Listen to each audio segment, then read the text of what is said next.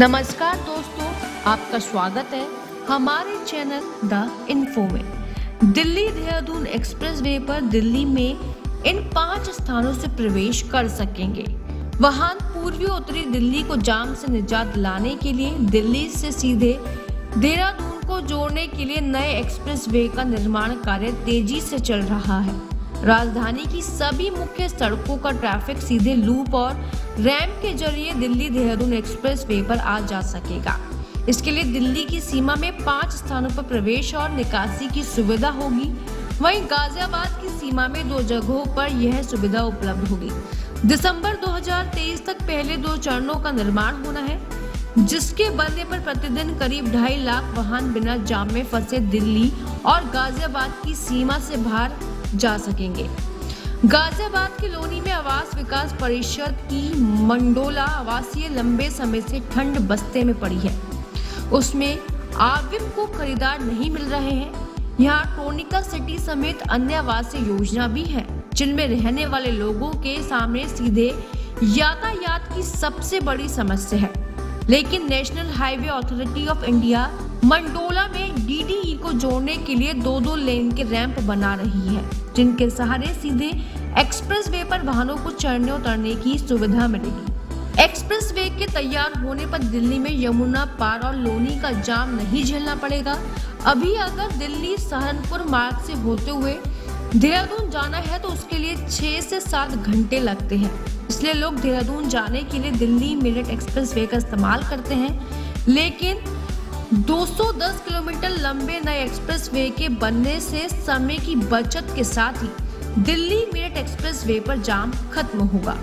मंडोला में रैंप बनने का फ़ायदा बागपत की खेकड़ा तहसील के लोगों को भी होगा, जहाँ से बड़ी संख्या में लोग दिल्ली में हर रोज नौकरी और कारोबार के लिए आते जाते हैं।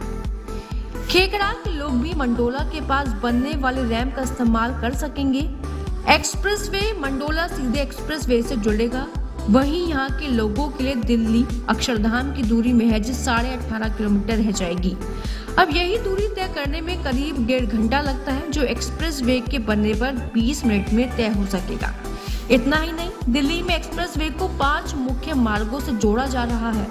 यात्री देहरादून से दिल्ली सिर्फ़ ढाई घंटे में पहुँच सकेंगे। वर्तमान में देहरादून से दिल्ली की दूरी तय करने में छह घंटे लगते हैं। एक्सप्रेस वे के बनने से उत्तराखंड के पर्यटन सेक्टर को भी विकास के पंखे लगेंगे। इस परियोजना में वाइल्ड लाइफ कॉरिडोर भी बनाया जा रहा है, जो कि एशिया का सबसे बड़ा वाइल्ड लाइफ कॉरिडोर होगा। यह वाइल्ड लाइफ कॉरिडोर 12 किलोमीटर लंबा होगा। इसके तहत डाट काली मंदिर के पास सुरंग बनेगी, जिससे वन्य जीवों पर कोई खतरा नहीं मंडराएगा। चलिए इस कॉरिडोर की खास बातें भी बताते हैं।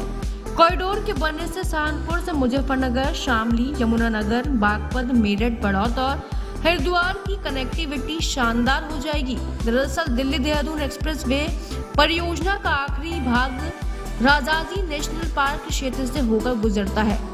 यहीं पर एशिया का सबसे बड़ा वाइल्ड लाइफ कॉरिडोर बनाया जा रहा है। सहारनपुर बॉर्डर पर डाटकाली मंदिर देहरादून के पास वन्य जीवों के आवागमन के लिए 340 मीटर लंबी सुरंग बनाई जाएगी।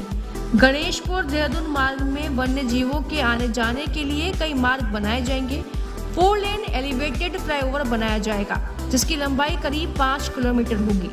देहरादून दिल्ली एक्सप्रेसवे परियोजना के तहत हरिद्वार, मुजफ्फरनगर, शामली, यमुनानगर, बागपत, मेरठ और बड़ौद को जोड़ने के लिए सात इंटरचेंज होंगे।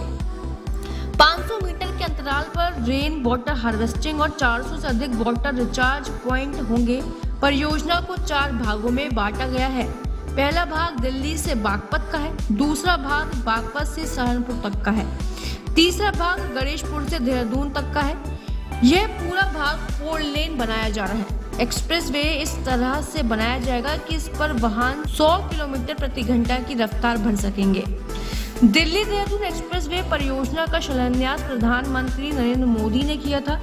एन के परियोजना निदेशक अरविंद कुमार अलाइनमेंट इस तरह तैयार किया गया है कि दिल्ली गाजियाबाद की सभी प्रमुख सड़कों पर ट्रैफ़िक आसानी से दिल्ली देहरादून एक्सप्रेस वे का इस्तेमाल कर सके। इसलिए दिल्ली की सीमा में पाँच प्रवेश और निकासी पॉइंट बनाए जा रहे हैं।